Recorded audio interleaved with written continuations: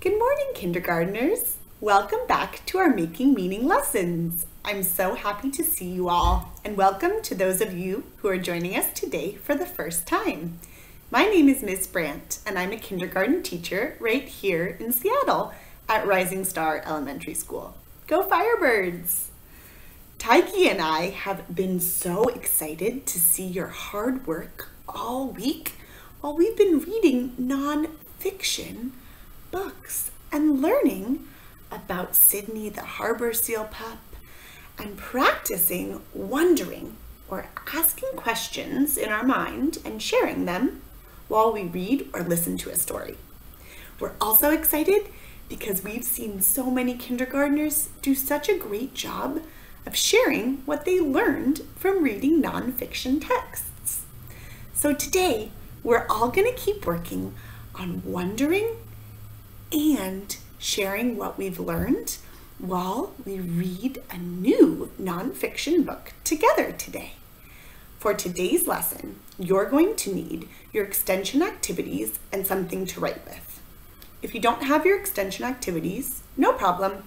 Go ahead and get any blank piece of paper and something to write with because we're going to be working together today to write and draw about what we learned and what we're wondering while we read a nonfiction book together. Okay, readers, let's get started. Today, I'm so excited to share with you a nonfiction book called A Day in the Life Sea Animals Shark. I chose this book because I am excited to learn more about sharks. One of the things that I am wondering when I look at this book, especially this cover and this picture on the cover, is I'm wondering about sharks' teeth. I know that they look sharp, but I'm wondering what they use them for and why they're so sharp. Hmm. I'm seeing some kindergartners go like this, showing me that they're also wondering the same thing. Excellent. Before we start reading, it's important we practice wondering or asking some questions. Now, let's get started and see if we find out the answer to our wonderings. We're also going to be listening for new facts that we learned so we can write them down. All right, here we go, readers. What is a shark? A shark is a type of fish that lives in oceans all over the world. There are many different types of sharks. Great white sharks live in warmer waters near land. They hunt and kill other animals to eat. Wow, I can look here at the labels. Whale shark. This is a whale shark. This, to me, looks like a person diving in the water. Wow, the whale shark is very large compared to the person. And over here, this is a great white shark. This is the one we were just reading about. Wow, kindergartners, I just learned a new fact at the very beginning of our story. I learned that a shark is a kind of fish that lives in oceans all over the world. So that's what I'm going to write down for my first fact that I learned. On my paper, I'm going to write my name and I'm going to write what I learned. I learned, let me show you so we can do it together. I wrote Miss Brandt. And here I wrote I learned. You got it, kindergartners. We just learned that sharks live in oceans all over the world. So I learned here, I'll make sure I have my finger space, and I'm gonna write, I learned sharks live in oceans. The first thing that I learned in our reading today. I'll make sure I have a period at the end of my sentence. and I'll reread my writing to make sure it makes sense. I learned sharks live in oceans. Excellent. I'm seeing so many of you do your own writing in your own words, and some of you are writing what I wrote too. That's great. Either way, we're writing down our first fact that we learned that sharks live in oceans. And if you want to add more detail, you can say all over the world. I love, and Tiggy loves too, how we see kindergartners doing their best. Some of us are drawing pictures, some of us are writing sentences. Excellent. I learned sharks live in oceans. Great. Let's keep reading to find out what else we learned. If you're not quite done with this part yet, don't worry. You can always come back to it.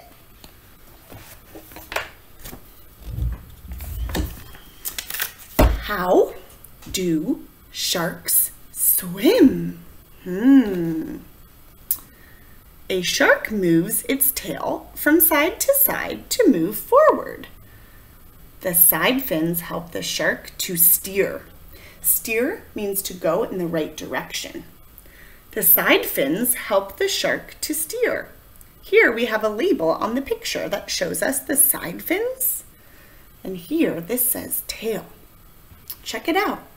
Sharks have side fins and a tail. When a shark swims along, water goes into its mouth and moves over its gills. Gills take air from the water so that sharks can breathe.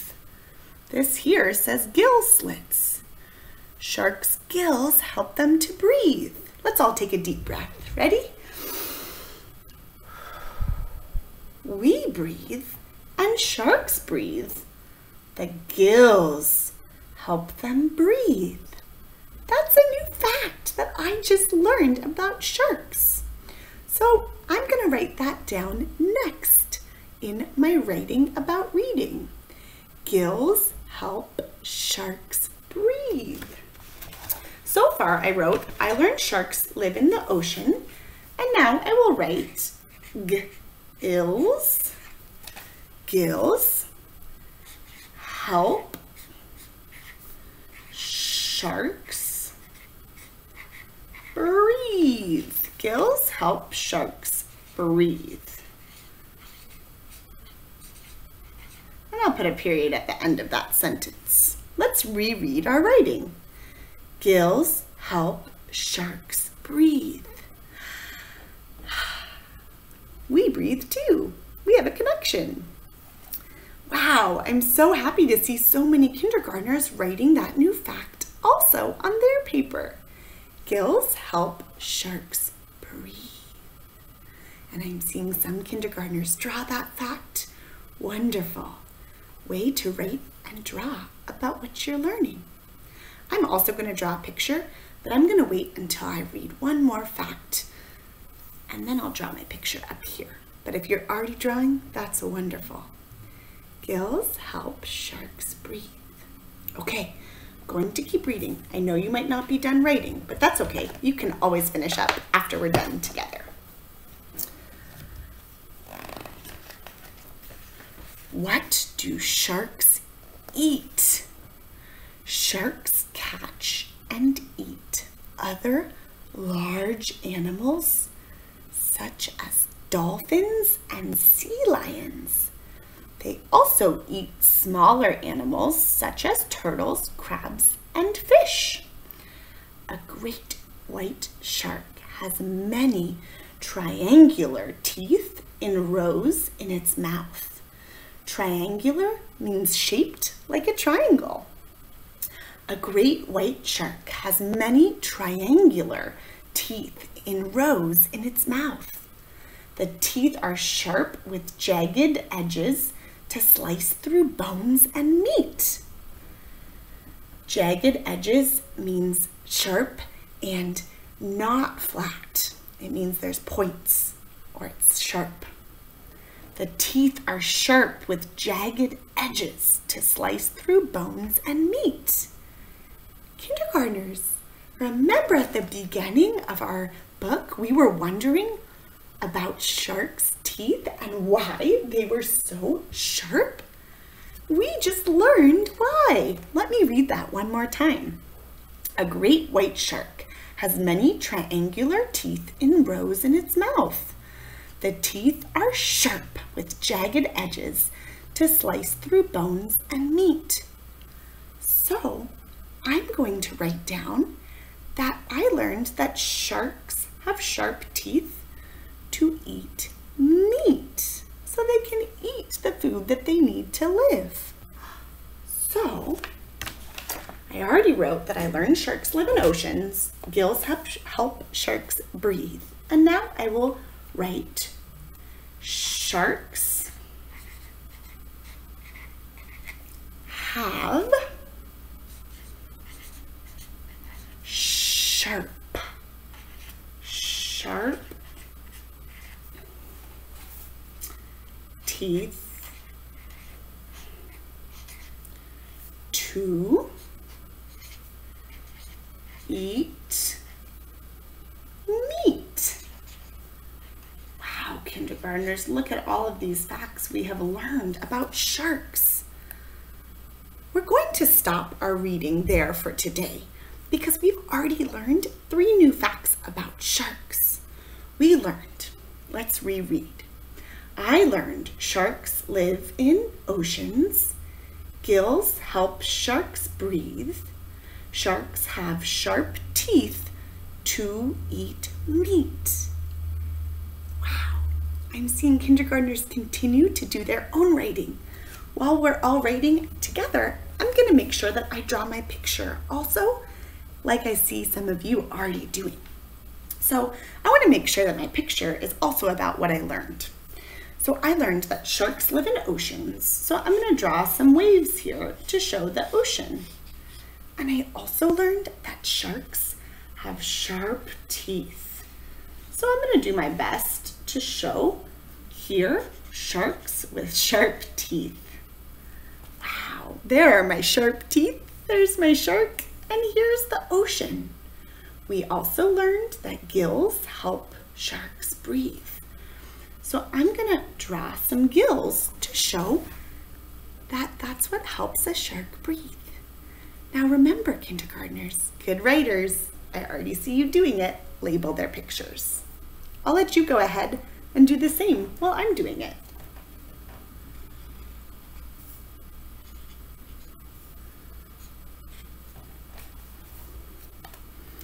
Wow, nice work, kindergartners. I wrote an O for ocean, t, t, T for teeth, and G, G, G for gills to help them breathe. Wow. Now, good readers also still ask themselves always, what am I still wondering? Or what do I still want to learn about this topic? I learned many things today with you about sharks, but I'm still wondering, hmm, I know sharks live in the ocean. I know they have sharp teeth to help them eat meat, and I know that the gills help them breathe. I'm wondering how many different kinds of sharks there are still, because I don't know. So I will add that. I wonder how many kinds of sharks there are. You might be like me and you're running out of room. So I'm gonna go ahead and turn to a new page to write what I wonder. If you're working in your packet or in your own piece of paper, you can just write it on the back or keep writing where you have room. Here I'm going to write, I wonder, I wonder how many kinds of sharks there are. And I'll make sure that I put a question mark because it's a wondering and I'm asking a question. I wonder how many kinds of sharks there are. I learned some new facts And I still have something that I wonder. Kindergartners, great work writing what you're still wondering. I see lots of students are wondering what I'm wondering too. That's great. I'm noticing some kindergartners are wondering what are the different kinds of fish sharks eat? And what oceans do sharks usually live in? Way to wonder many different things. Wow, kindergartners. I am so impressed with your hard work writing about reading with me today. I know some of you are still working on adding to your words and pictures about what we learned and what we're still wondering, but that's okay. You're gonna have time to finish after we finish our lesson today. So go ahead and take a pause really quick. We're going to review our two vocabulary words from our last lesson, and then you're gonna keep going with your writing or choose a new book to write about. So, very quickly, let's look. We had two vocabulary words. The first one we have is survive. Survive means to stay alive. Wow, way to remember. This bird is feeding some baby birds to help them stay alive.